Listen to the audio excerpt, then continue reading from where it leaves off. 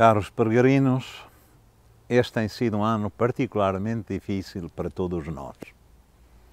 Temos sido postos à prova em todas as dimensões da nossa vida com as consequências desta pandemia.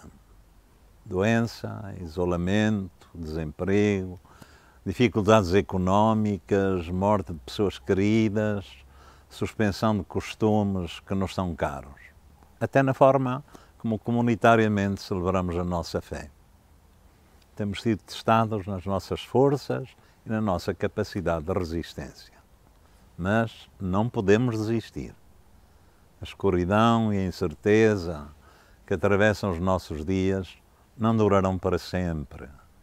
Este é o maior ensinamento da nossa fé que a mensagem de Fátima tão bem sublinha. O bem triunfará. O meu imaculado coração triunfará.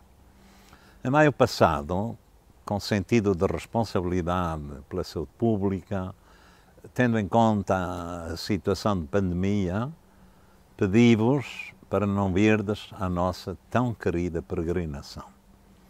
Estava em causa a nossa saúde e a vossa resposta foi exemplar, como tem sido a resposta dos cristãos e da Igreja toda neste tempo de pandemia, quer no respeito pelas regras definidas pelas autoridades de saúde, quer na expressão de ajuda ao outro nas suas fragilidades.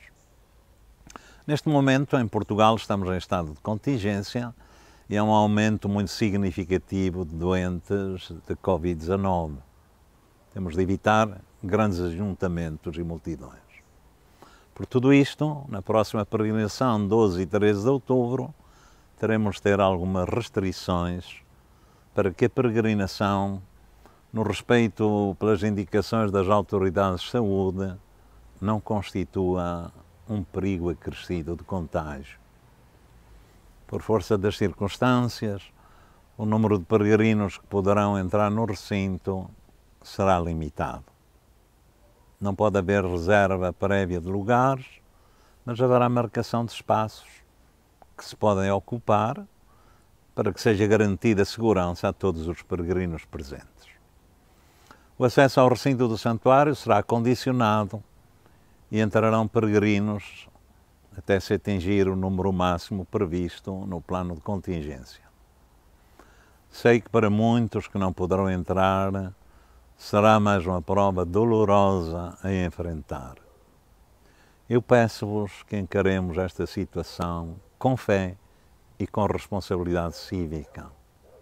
Também para nós, responsáveis do Santuário de Fátima, é doloroso ter de tomar estas decisões, já que a nossa missão é acolher todos. Contamos com a oração de todos.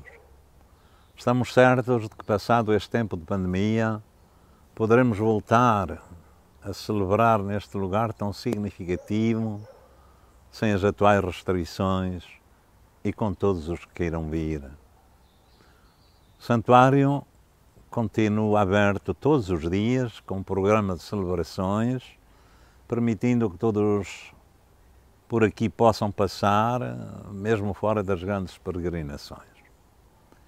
Este será sempre um espaço que nos convida a sentirmos-nos acolhidos por esse coração imaculado, o coração da Mãe, que é a expressão do imenso coração de Deus.